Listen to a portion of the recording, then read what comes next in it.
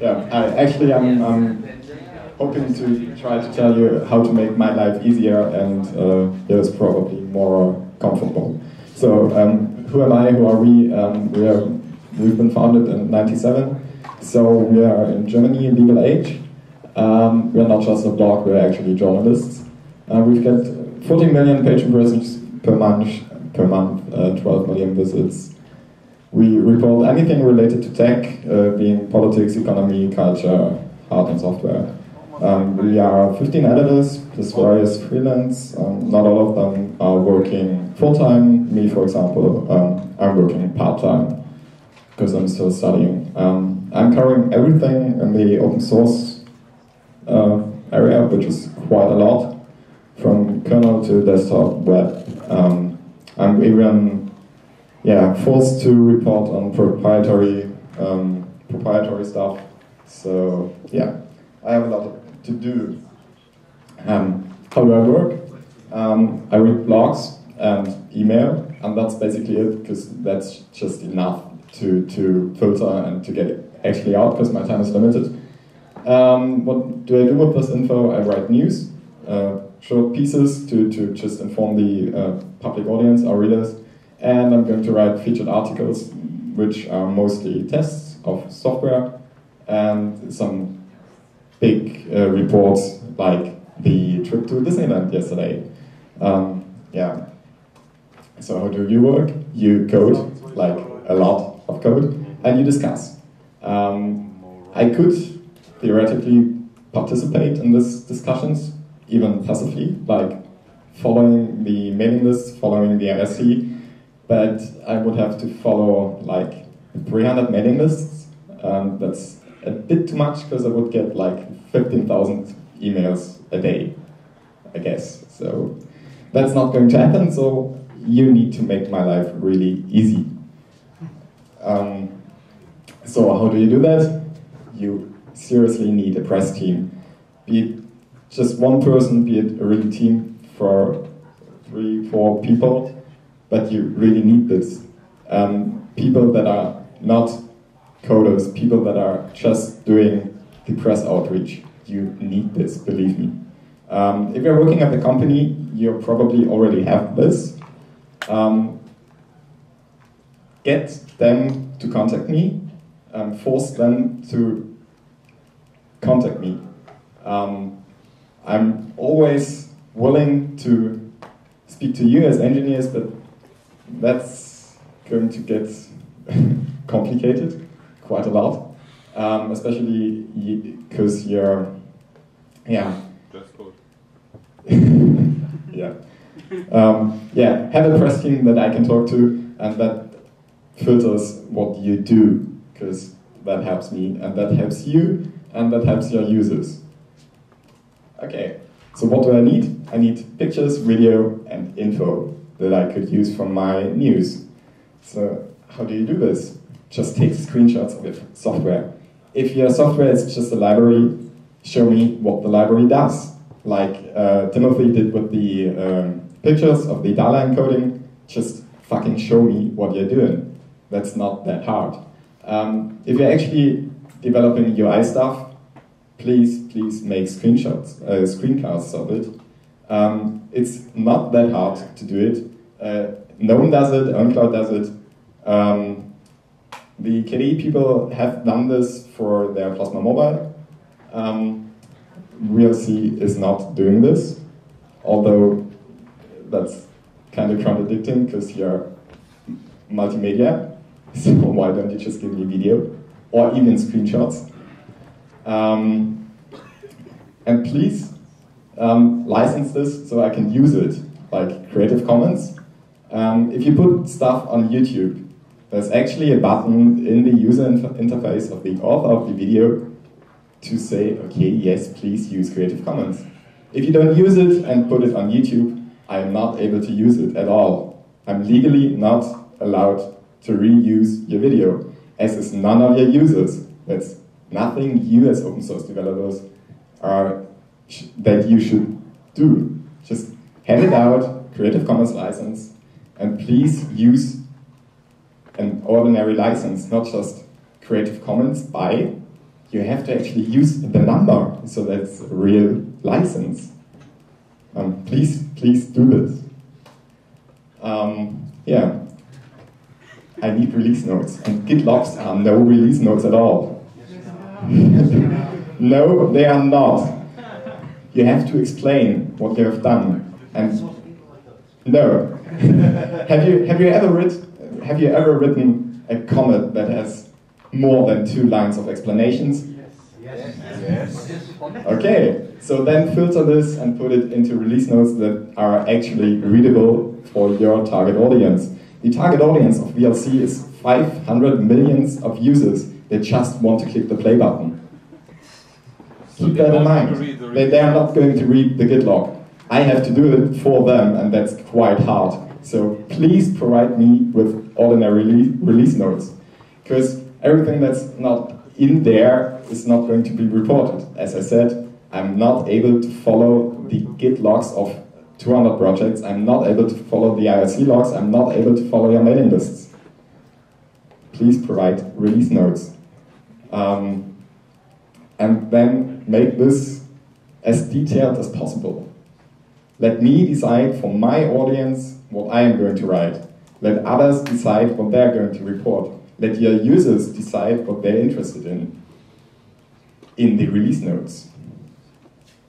Um, yeah, and the, the hardest, hardest thing um, for me is to actually get these notes before your release. There's no point in releasing VLC 3.0 with like 7,000 of commits, uh, nearly two years of development, and then just say, yeah, we released it, here, take a look at it. What? No, I, I need to test it before, I need to make a featured article on this because that a really huge audience that is interested in what VLC 3.0 is actually doing. But I can't provide this kind of info if you just push a release button and then say, yeah, we just released it. Uh, that brings me to my next point. Okay, I, I know why you disagree, but even if your development is feature based, there is something called an experimental flag or a beta flag or an alpha flag. You can still release on time with these flags. Every three months, just release and say, okay, this is experimental, this is stable, this is a patch for be stable, this is alpha, this is beta. This is going to make my life easier, this is going to make your audience understand what you're actually doing. They're, they're really, they're, they're not, well, the, the audience of you multimedia people is not technical at all, as I said, they want to click a play button. And they, they don't understand why you're, why you're needing two years to release uh, VLC 3.0. They just don't understand it. Um, and then they don't understand it why it's always too late released. Um, yeah, talk to me. Please, please, please come to me. Um, although I'm not a programmer myself, I did some programming at university. I did some math classes. Um, I'm doing the open source stuff for Golem now for nearly five years. So I know my way around. I'm not stupid. I'm not your target audience. I'm actually quite good at understanding what you're trying to do. So come to me if you have anything that you want to, to get out. Just tell me, come to me, write me email, call me, meet me in our offices at dinner at this conference. And do this not just with me, but worldwide. Like, not just in the US and Central Europe, but I don't know how many users VLC has in India, for example, but there are nearly a billion people living in India. So there's quite a huge target audience for VLC. Um, go there, talk to them. You most probably have developers in these countries. They are techies, they are on the web, they read forums, they read blogs, they read ordinary news sites. So they know the important news sites in their home countries. So just if you put up a press team, it would be like one week's of crowdsourcing, and you would end up with 3,000 websites all over the world that you can just talk to by sending an email. And you could reach, and then with this reach of the 3,000 websites, you could reach millions of users that are already using VLC or possible new users. Just do it. There are only just a few um, positive examples that do it like that. Uh, for example, the Document Foundation for LibreOffice. Um, OwnCloud is doing it with me because I know the press guy of OwnCloud. um, and the way the else is doing it. It's just always the big firms like Microsoft and Intel that send me really, really crappy press notes. Two days after the engineer announced it, I can't use this. Two days later, it's just old. It's just not news. Um, are there any questions? Please ask. So basically, to, to sum up what you just told is that every open source project, even if it consists of two people, should have a press team and notify every goddamn third rate IT publication I'm, out there well, with their release notes so that they can then make this I've, big I've thing been about not, this. I've been not talking about some well hobbyist project with two developers, but we'll see. You get developers that are not actually employed full time to work on VLC, but people that stuck around for the last five or ten years, and that is not going away, and they still comment stuff. So if you're if you have way more than a million users, you have to get this done. There's no way around it. Yes, actually, my project has maybe not a million, but a couple hundred thousand users, but we're still just three people. We do. We sometimes have stretches of time that go like almost half a year with a handful, five commits. Why should I do a release every three months? You said I must do a release every three months. I goddamn do not have to do a Please don't every insult me. Please lower your voice. I'm not here to insult you. I'm here to give you advice. So if you're not taking my advice, that's okay. But please don't insult me. That's all I'm going to say. Please sit down. Next question. Yeah, Dan the Beard. So you're you're saying uh, we should get press releases so we can get more developers or more donations? Yeah, or to, to just reach out. Yeah, because the, the more people know about what you're doing, the more people you attract. Be it users, be it uh, annoyed customers, be it new contributors. If no one is knowing about your project, no one is going to contribute. Yeah. So you talked about the, the various different ways we do development, IRC, email, etc., mailing lists, etc. Yeah. Now, unfortunately, unlike yourself, there's various bits of gutter journalism out there that take snippets from IRC, from mailing lists, completely out of context, reproduce them, and say, ah, blah, blah, blah, blah, whatever, and it all makes us look bad. Do you Um, stop that?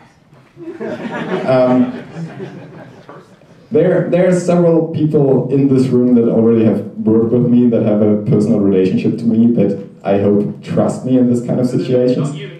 Yeah, I, I, I, I could imagine whom you might be uh, talking about. I can't register anything in my head at the moment. so, yeah, as you, as you say, it's about trust. But still, um, uh, uh, I wouldn't work like this because it's not my work ethics. I, I, before I write anything, I, I have to be certain. One way to be certain about something is if you actually give me release notes that I can access. The other thing is everything, or nearly everything you do is public. If you are going that line, you have to just live with the outcome. Um, there's two possible ways to deal with this. Just give a fuck at all and say, uh, whatever, I don't care. Um, the other way is just nag the authors of the articles. If there's something wrong, just write them an email. If they're uh, every week wrong and you um, write an email every week, they're going to be so annoyed that they're going to be, to stop being wrong. Um, Put the cron job.